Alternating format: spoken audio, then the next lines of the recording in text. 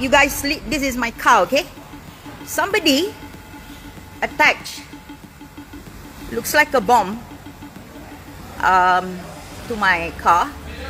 And uh, I'm like, with all the wiring, you know, and all that. And uh, the mechanic here said to me uh, that ini baru pasang dia kata.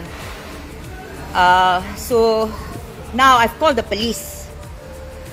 Okay, I've called the police. Um, Objek yang ditemui pada kenderaan milik peguam terkenal, Siti Kasim, dipercayai bom jenis improvised explosive device, kata polis.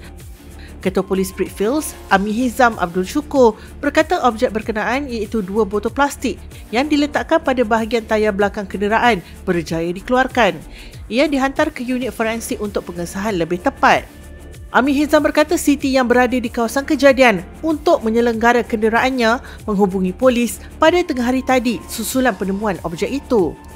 Polis serta-merta menutup kawasan sekitar kenderaan terbabit serta mengerahkan unit pemusnah bom dan memanggil bomba.